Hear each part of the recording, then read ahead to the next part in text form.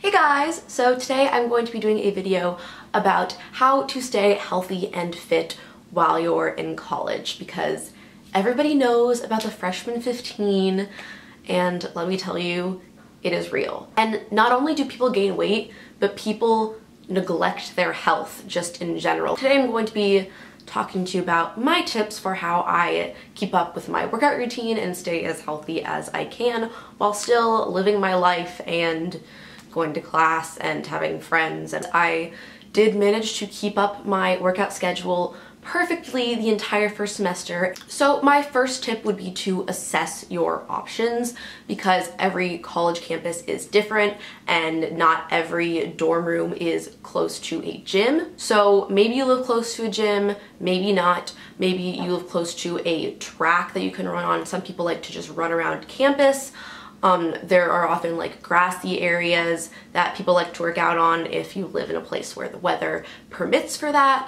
Um, you can also just work out in your dorm room if you have space or if there's like a common area in your building that you can work out. Some campuses have free classes or discount workout classes. Once you figure out what you're going to do for your workout, you need to schedule it. Scheduling your workouts is so important. I work out five times a week and I take my rest days on Wednesdays and Saturdays. I like to have a rest day in the middle of the week and Saturdays I can sleep in, do homework, hang out with my friends. Scheduling my rest days is really helpful because then on those days I just don't worry about working out. Like today is a Wednesday and I can just focus on school. I just don't need to worry about it. Personally, I like to work out in the morning so before my 10 a.m.s, I like to wake up like an hour early so I can get in a workout before class. Last semester when I had 9 a.m.s, I preferred to work out afterwards so I'd always like put in like my list of things to do like the order that I'm going to do it so it's like I knew exactly when I was going to work out because if you just say like oh I'll work out eventually today like the odds are you're not to get around to it. Going off of that, I suggest working out in the first half of the day because then the second half of the day you have room for extracurriculars, maybe you have evening classes, and you can just like do homework or like hang out with your friends and you don't need to have like this weight that like you need to work out like weighing over you. I say you work out at least three times a week um, because you need to do anything three times a week or more to improve. Personally, I work out in my room when my roommate is either asleep or when she's out of the room. I have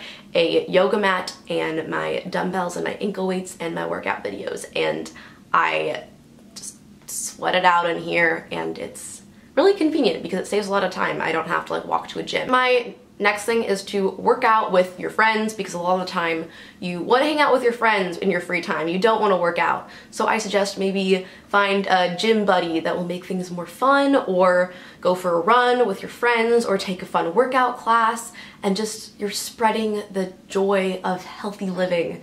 And as for eating, dining halls are not very healthy or just not very good. So what I suggest, a lot of campuses have something called like dining dollars or just money that you can spend on at places around campus. I suggest getting dining dollars because one, you save money because usually they give you really good deals. Like at USC, you pay $300 for 500 dining dollars, so you get $200 of food for free, which I think is pretty cool. And that way you're free to eat anywhere on campus and you might have healthier options than you would at the dining hall because like the salads at the dining hall are gross but maybe they have like a place on campus that has better salads and you might actually enjoy eating healthier rather than just getting a bunch of pasta or a burger at the dining hall because you just don't like anything else that's there. If that's not an option, then just work hard to make healthier choices at the dining hall. Like try to avoid like all of the fast food options and make sure you're getting like protein and not just having like pasta and pizza because the carbs add up. 99% of the time I get water and I always drink a glass of water with my meal because like yeah they have a bunch of sodas but like you don't need to drink soda with every meal. My next tip is to eat on a regular schedule because in college a lot of people just don't eat normally. Some people just don't eat or they eat at really random times in the day or they eat really like unhealthy foods at unhealthy times of the day, which really is not good for your metabolism, it's not good for your health. There's a reason why you're supposed to eat three meals a day. There's a reason why you're supposed to have a certain amount of nutrition. Um, it has to do with like your energy throughout the day. And especially if you're going to be working out, then you need to eat regularly because working out burns calories and you can't be, have like a caloric deficit because then like you're just gonna like lose a bunch of weight and it's gonna be really unhealthy. Make sure you're eating three meals a day. And I like to have a snack like in the afternoon between lunch and dinner because that's usually like my longer amount of time between meals. And make sure to always eat breakfast. People just don't eat breakfast. And a tip that I have for this if you don't have time to go to the dining hall or go somewhere for breakfast is to keep stuff in your room. I like to keep things like yogurt and cereal and milk in my room because on mornings that I work out, I don't usually have time to go to the dining hall before class. So I just eat breakfast in my room and it saves a ton of time. And my next tip is to try to sleep for seven hours a night.